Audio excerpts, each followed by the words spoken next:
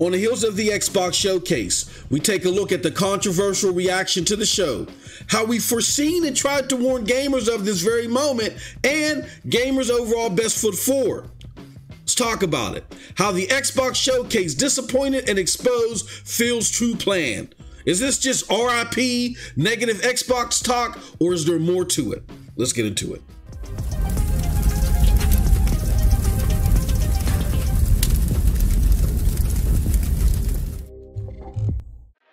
What's up, people? What's up, people? What's up, people? It's your boy MM2K back again with a very special video. Um, a video that's that's very self-reflecting in nature. But before we get into all that, do me a huge favor: hit that like button, hit that subscribe button, rock those bells for notifications, please, so you know when your boy's dropping these doses. I appreciate all of y'all. Straight up, y'all know the deal, y'all know the reason, and y'all know the slogan. I am not too proud to ask. Let's get into it.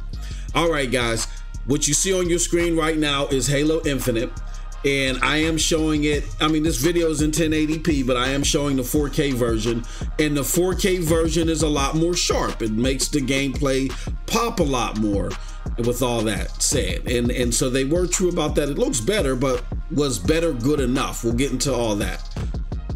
But with that said, um, we know the story by now. We should know, and for those of you that don't know, Xbox had its showcase, um, its big showcase, where they said we're going to be talking games, games, games, games, games.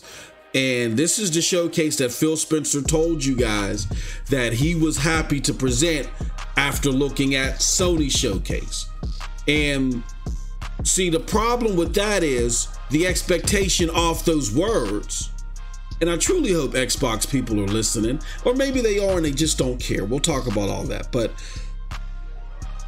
the expectations off those words were simply this Oh, you're happy with what you shown, what was PlayStation shown, because what you are going to show is going to be so much better, and more importantly, better to the point to where people will stop putting such a spotlight on Sony and will put a spotlight on Microsoft because it's going to purely and, and, and so much look like that you guys are ahead of the game.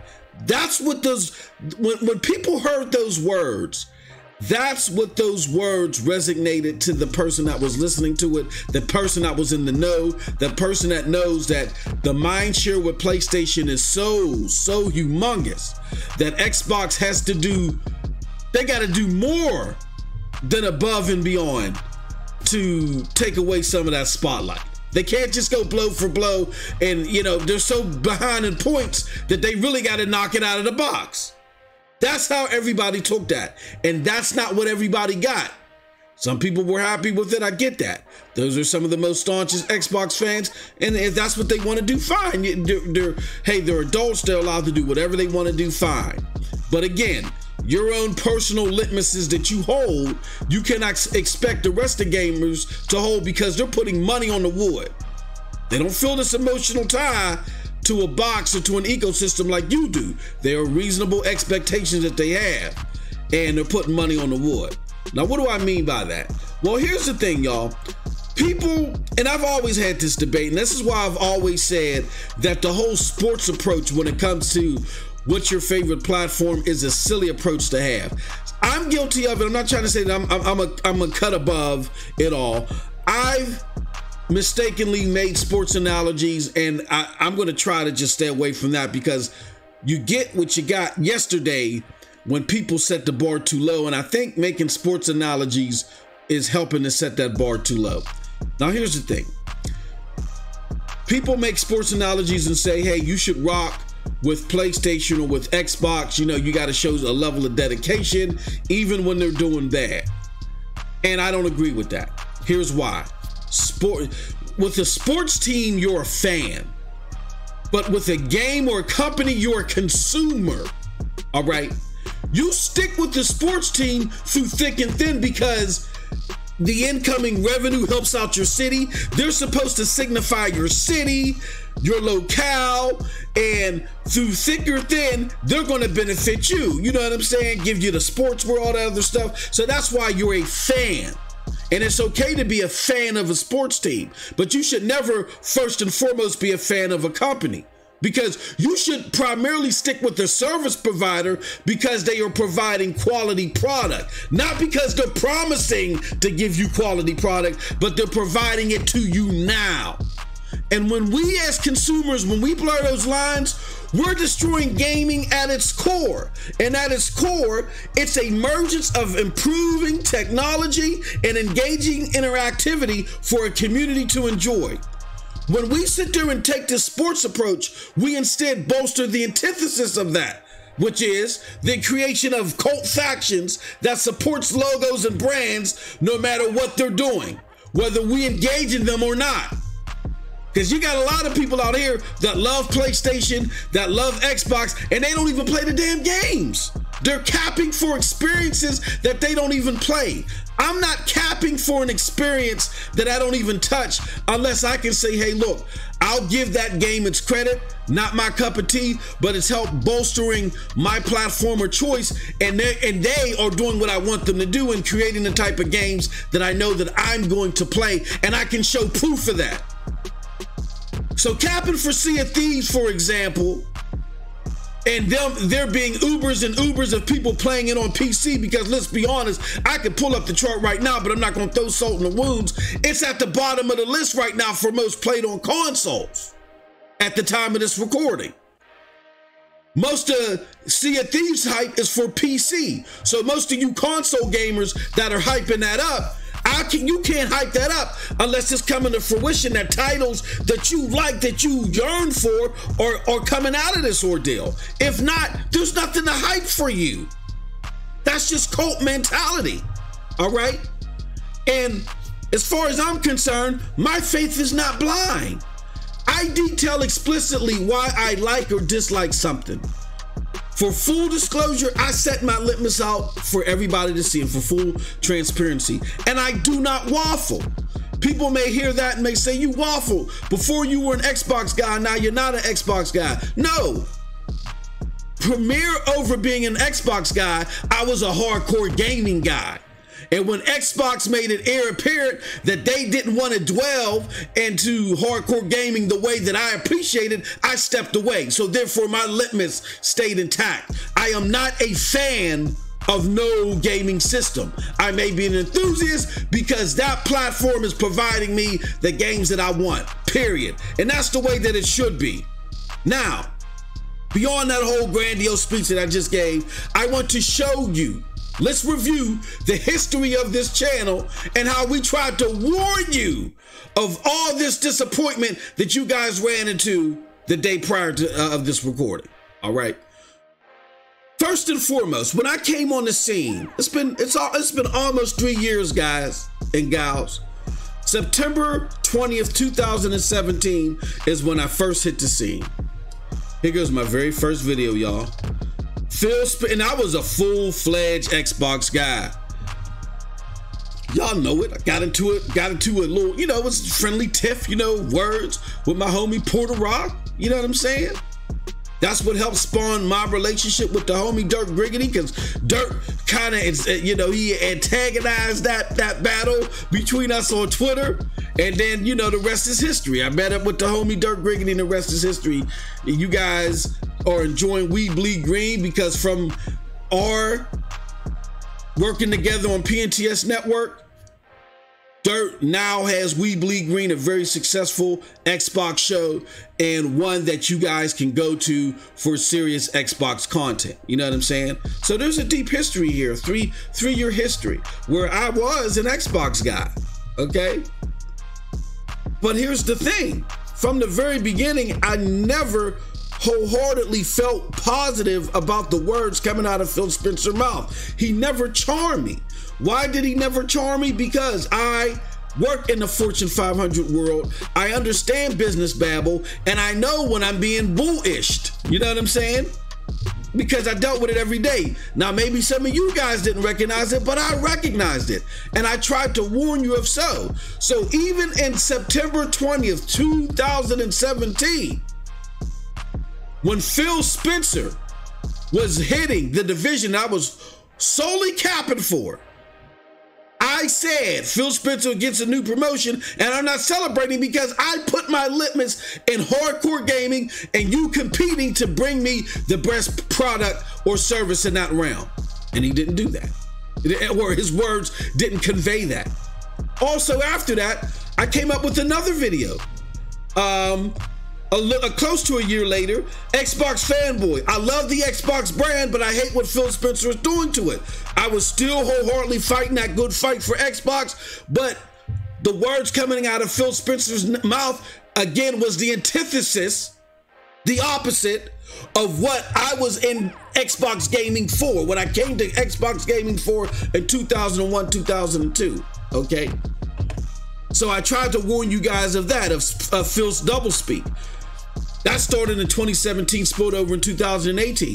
What also happened in 2018 is I tried to warn you guys of the consistent olive branch towards Sony that again goes against the still sharp and still approach that fans like myself desire. I didn't like, I, I'm like Michael Jordan on this one. When Michael Jordan was talking about LeBron and why he's not just gonna sit there and just praise and kiss LeBron's feet like everybody else. Michael Jordan said, I wasn't trying to play with Charles Barkley and Magic Johnson, making reference to LeBron trying to build all these super teams to build a, uh, to win a championship. He said, I wasn't trying to build a super team to win a championship. He said, I was trying to beat Charles uh, Barkley and, and Magic Johnson and Larry Bird. And, and that was evident in the Last Dance documentary. And that's how I felt about hardcore gaming. The more that you looked your opponent in the eye, and you did uh, in a dignified way competed with them against software to try to provide better software for your consumer base, the better it made gaming overall. The 360 PlayStation 3 generation, to me, with those guys running neck and neck, was a lot better generation than this one. Because Sony really didn't have any competition. And by the time Nintendo came in with their thing, well, Nintendo's just trying to speak to another brass other than hardcore gaming. But by the time Nintendo came in there, Sony had Sony had already wiped down the crown, covered it in plastic, and went to bed. you know what I'm saying? They was already done. And just to show y'all that they still on top of this generation, they said, "Hey, y'all still doubting us?" And they, they tossed out Last of Us Two and Ghost of the Tsushima. You know what I'm saying? It was a wrap, and it wasn't one of the better generations because of that, right? So I I talked about that that you know the still sharp and still that talk was of Peter Moore, Seamus Blackley, and all of that. It, it seemed to be the, the, um, it seemed to be fading away, and that wasn't a good thing. I warned y'all, it wasn't a good thing. All right. So the next thing that I tried to tell you guys about too was that, um, in regards to that, here goes another video. How Phil Spencer's coffee shop approach hurts the Xbox brand. I told y'all about that. When he came up there um, at, at Dice. You know what I mean? On the Dice stage and said what he said, and I had to go to Puerto Rico and say the battle's over. I waved the white flag. I am not gonna fight wholeheartedly for a guy that's not trying to fight for himself. I'm trying to argue with y'all and create videos every day telling you how the Xbox brand is better than PlayStation. Hold your head up, Xbox Warriors. Fight, fight, fight. Because Xbox is going to fight and the leader ain't fighting. So wait, I said, nah. I'm done with that. Again, I didn't waffle. I stick to my litmus. And my litmus as a consumer is bigger than me praising a brand. I got more dignity than that to sit there and praise a brand that ain't giving me something that I enjoy. All right? So I talked about that. The co- coffee shop feel. We we coined that moniker here, coffee shop feel. Then I even sat down with Bloody Knuckles, with Cyrus Burke of GRG. You know, I was in my heavy Xbox Kappa days back then. We sat together. We they tried to talk your boy off the ledge, but we had a real good discussion. So again, I'm telling you, there's levels to this. Then next, in 2018, 2019, I was I had we had warned you guys per this channel. He was not trying to go blow for blow over quality. That he may talk to talk, but he wasn't walking to walk. What he was saying was a lie just of one of the videos that I said speaking to that. Phil Spencer admits he does not want to compete with other platforms over quality. We, we talked about that in 2019, right? In a subsequent video, Well, a prior video we talked about in 2018, actually, Sony in the end to save Xbox consoles. We talked about this in 2018, where there was evidence that came out that Xbox was approaching other platforms to try to put their, their, stuff on there, their games on there. And then now we found out it was Game Pass that Phil was told to kick rocks when he tried to approach them about Game Pass. But then y'all said, no, no, no, no, no, no, no, back then. And we come to find out now it was true per recent sit downs and interviews. All right.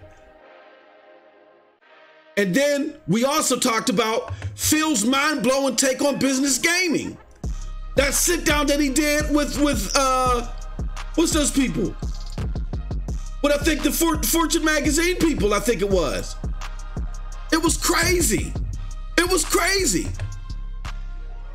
Then we also told you about how to keep Phil and Satya honest about AAA content as it relates to them duping their supporters by keeping them in a perpetual state of wait. Now, for those that just want quantity over quality, you're, you're good, and I get that, and there should be no reason for you to leave. I get, I told, I wholeheartedly understand that. But for those that were sticking around expecting the quality to go up back to the way it was in previous generations, you were being duped.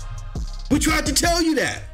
We even created a whole platform, the Hard Knock Digital Culture, and we created a podcast. The NRO podcast was based upon that whole issue. And as we were filming it on Twitch, we were bringing it over to, on YouTube after our, our, our, our t- uh, time had allotted there.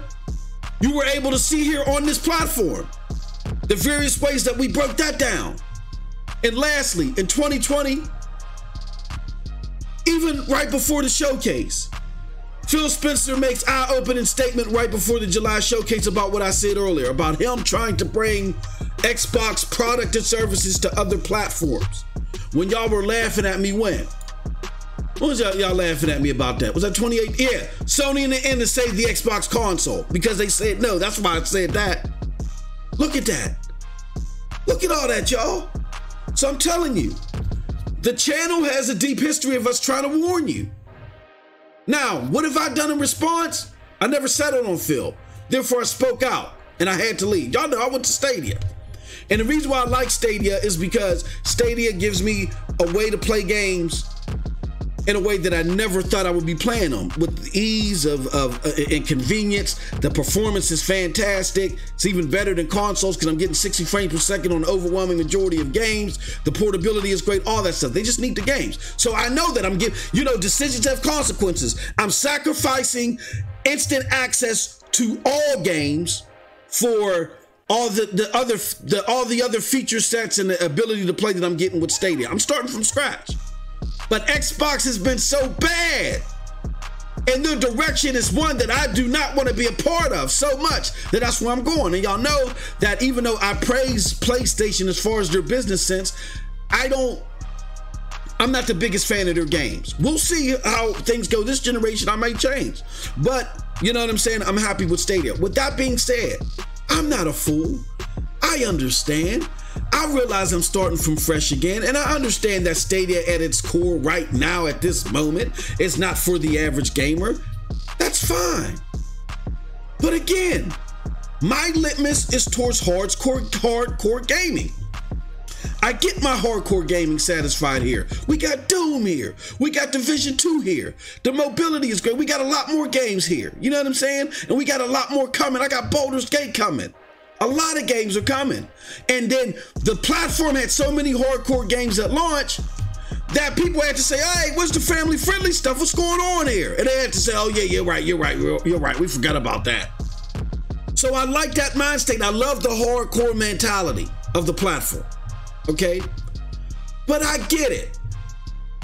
People there was a there was an instance where Digital Foundry made a mistake and they had said some erroneous things about the performance of Stadia. And when they said those erroneous things, I had hit the internet and said, "No, y'all needed to check this and turn off HDR and all this other stuff." And people were laughing at that that. Said, "MM2K, you're capping." And I wasn't mad at them. I get where they were coming from. Now, behind the scenes, some of the tech experts, I had to, la- I, we, we still laugh at them in the Stadia community because they don't even, their Captain for Child don't even know how the cloud gaming works. But with that being said, my issue was with the tech people, the people behind the scenes that didn't understand why I was saying what I was saying, and Digital Foundry for not doing it. With that being said, for the general population, I get it. They looked at all that and they said, hold on. If I got to do all that to not have issues with Stadia, I don't want to get into it. And I get that. And this is what I'm urging my Xbox people to get. Understand that if you got to sit there and wait till E3, Comic Con, it eh, Con Air, the Tokyo Game Show, the Belgium Waffle Fest, if you got to wait till all this to finally get what you want, it's not worth it to the average gamer. So you can't be mad at the average gamer when they say, yo, this is not it, puppy. This is not it. You can't be mad at them. It's Xbox's job to bring in more people because I'm telling you, with all the money that they're spending in Game Pass, with all the initiatives that they're trying to do, with all the competition they got to buck up against, they're not going to prepare with just y'all. They got to bring in more people. So you got to make sure, you got to be honest for the viability of your platform, that they're doing more than what they're doing. And they're simply not doing that just with, with the showcase. Halo needed, needed to be shown in a stellar fashion. And y'all knew that. Because when I told y'all, as long as Halo is shown in a very good light, y'all said no. I'm not down in my expectations. This this showcase gotta be the bomb. And then when it came out that it's not the bomb, now y'all went back to capping. Y'all went to camp capping a lot. Stop it. So hopefully you have all learned that right now you gotta hold their feet to the fire. You gotta recognize that again, Xbox played on your desires to no longer be laughed at, to be considered a top dog, not to be in last place. So they kept promising you that they will get there. First with the X, and then with the, with the software and stuff. Oh yeah, seeing things is gonna be all this. And then when y'all get it, y'all just keep capping for it. Now with the Series X, y'all doing it all over again. Then you gotta be eh, able to foresee. You gotta say, okay, they're not doing the things that we want them to do. They're not being transparent about it. What is their actual strategy? The strategy is about saturation and money making with minimum effort, not quality out of the gate like they've been lying to you and telling you. And lastly, you got to have a call to action. If you have inadvertently, before, okay, before maybe you you fell for it and, and, and didn't step in on time, but now you got a chance to really do something and make some help um, um, make some change proactively. Okay, stop just selling for everything and stop worrying about the ponies across the street. Worry about your platform, your own platform, and and and be critical of it accurately. All right, you can say, okay, they fooled me. They got me believing that they was gonna hop on this whole quality tip and they're not doing it. But they gotta do it now. Okay? Dude, you know, have a call to action to yourself. Now, if you appreciate the budget gaming approach, cheer it on. But if you want better, again, speak up now. Especially if you refuse to take it anymore. And then after speaking up, if nothing happens, then you might have to do what MM2K did. You ain't got to necessarily go to uh, Stadia, but there's going to be a lot of platforms out here. You're going to have to be bold and just leave. Because that's what I had to do again. And I'm telling you, I was afraid. I'm to be honest with y'all. I'm, I'm just being sincere. I was afraid to do so. When things started becoming prevalent to me that this was the step that they were going to take, I was afraid to do so. But when I did it, first I did it with PC and it backfired. I did. I'm really I can't be a full fledged PC gamer. There's just too much maintenance with that. But then Stadia came, and now I'm happy. And again, you'll find your happy spot too. But don't be afraid, man. Step out of that box. Make Xbox do better. Tell, make them, don't let them, look, as long as they know that you're going to stay around no matter what they do, then they have no incentive to do better, especially with with minimum effort. In a year where Sony threw everything out but the kitchen sink, and Sony made 16 billion, if Microsoft can still make 10 billion, they have no incentive to do better, unless you give them an incentive. Period. And that's it from your boy MM2K. Let me know what you think about what I have to say in the comment section below, because like I always say, who cares what I think? But if you did like what I had to say, check out the links below to follow me. Those links will lead you to the Broadband Bullies, PNTS Network, Hard Knock Digital Culture, and yes, the Stadia Dosage. But that said, I appreciate all of y'all. It's not hate y'all, man. It's just, it's just time. It's time to call. It's, it's time to have a call for action, man. Straight up. With that said, you all have a wonderful, wonderful gaming day. Peace.